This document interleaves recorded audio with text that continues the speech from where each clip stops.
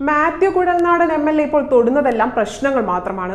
പുതുപ്പള്ളി ഉപതെരഞ്ഞെടുപ്പ് സമയത്ത് സർക്കാരിനെയും സി പി ഐ എമ്മിനെയും സമ്മർദ്ദത്തിലാക്കാനും വോട്ട് അട്ടിമറിക്കാനും വേണ്ടി മുഖ്യമന്ത്രിക്കും മുഖ്യമന്ത്രിയുടെ മകളുടെ കമ്പനിക്കുമെതിരായി മാസപ്പടി വിവാദം ഉന്നയിച്ച് രംഗത്ത് വന്നിരുന്നു. എന്നാൽ അതിലും വലിയ പണിയും വാങ്ങിയാണ് കുഴൽനാടൻ അന്ന് മടങ്ങിയത്. ചിന്നക്കനാലിൽ അനധികൃതമായി റിസോർട്ട് നിർമ്മിക്കുകയും അതിന് ലൈസൻസ് ഇല്ലാതെയുമായിരുന്നു പ്രവർത്തിച്ചുകൊണ്ടിരുന്നത്. ബിനാമി ഇടപാടിലും കുഴൽനാടൻ ഉൾപ്പെട്ടിരുന്നു. എന്നാൽ ഇപ്പോൾ മാത്യു കുഴൽനാടൻ പൈങ്ങോട്ടൂർ ആയങ്കരയിൽ നിർമ്മിച്ച രണ്ട് കെട്ടിടങ്ങൾക്കും കുടുംബ വീടിനു പിന്നിൽ നടത്തുന്ന നിർമ്മാണത്തിനും പഞ്ചായത്തിന്റെ സ്പോട്ട് മെമോ നൽകിയിരിക്കുകയാണ്. നിർമ്മാണത്തിന് അനുമതിയില്ലെന്ന് ചൂണ്ടിക്കാട്ടിയാണ് പൈങ്ങോട്ടൂർ പഞ്ചായത്ത് നോട്ടീസ് നൽകിയത്. നിർമ്മാണം അനധികൃതമല്ലെന്ന് തെളിയിക്കുന്ന രേഖകൾ ഹാജരാക്കാൻ പഞ്ചായത്ത് തുടർച്ചയായി നോട്ടീസുകൾ നൽകിയിരുന്നു. എന്നിട്ടും മറുപടി നൽകാത്തതിനെ തുടർന്നാണ് സ്പോട്ട് മെമ്മോ കൈമാറിയത്. കുഴൽനാടന്റെ കുടുംബ വീടിന് പിൻഭാഗത്ത് തുടരുന്ന നിർമ്മാണങ്ങൾ രണ്ടായിരത്തി പത്തൊൻപതിലെ കേരള പഞ്ചായത്ത് കെട്ടിട നിർമ്മാണ ചട്ടം നാല് പ്രകാരം അനധികൃതമാണെന്ന് കാണിച്ച് ഒക്ടോബർ പതിനാലിന് പഞ്ചായത്ത് സ്പോട്ട് മെമ്മോ നൽകിയത്.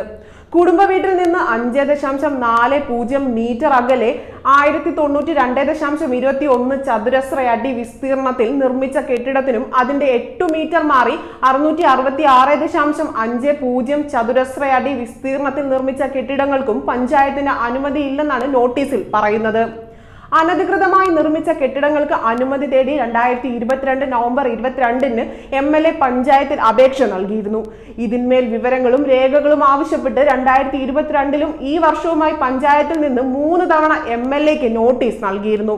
ഇതിനൊന്നിനും കുഴൽനാടൻ മറുപടി നൽകിയില്ലെന്നും സ്പോട്ട് മെമ്മോയിൽ പറയുന്നു. കുടുംബ വീടിനു സമീപം കെട്ടിടം നമ്പറില്ലാതെ നിർമ്മിച്ച് പൊളിച്ചാണ് പുതിയ കെട്ടിടം നിർമ്മിച്ചതെന്ന ഡിവൈഎഫ്ഐയുടെ ആരോപണവും കുഴൽനാടൻ നിഷേധിച്ചിരുന്നു. സ്പോട്ട് മെമ്മോയിലെ വിവരങ്ങൾ മാത്യു കുഴൽനാടന്റെ അവകാശവാദത്തിന് തിരിച്ചടിയാവുകയാണ്. പഴയ കെട്ടിടത്തിന്റെ അട്ടിമറി നിലനിർത്തി മുൻവശം ഒന്നേ ദശാംശം എട്ട് പൂജ്യം മീറ്റർ വീതിയിൽ കൂട്ടിയെടുത്താണ് പുതിയ കെട്ടിടം നിർമ്മിച്ചത്. കെട്ടിടവും റോഡും തമ്മിൽ ഒരു മീറ്റർ ദൂരപരിധി പോലുമില്ല. പഞ്ചായത്തിന് നൽകിയ പ്ലാനിലും ദൂരപരിധി തെറ്റാണ് കാണിച്ചിരിക്കുന്നത്. ഈ വസ്തുതകളാണ് ഡിവൈഎഫ്ഐ ചൂണ്ടിക്കാട്ടിയിരുന്നത്. ഈ അനധികൃത കെട്ടിടങ്ങളെ ഔട്ട് ഹൗസ് ഓഫീസ് എന്നൊക്കെ വിശേഷിപ്പിച്ച് കുഴൽനാടൻ തട്ടിപ്പ് നടത്തുകയായിരുന്നു. എന്തായാലും ഈ തട്ടിപ്പ് വീരൻ അധികകാലം വാഴില്ല എന്ന് തന്നെ ഉറപ്പാക്കാം.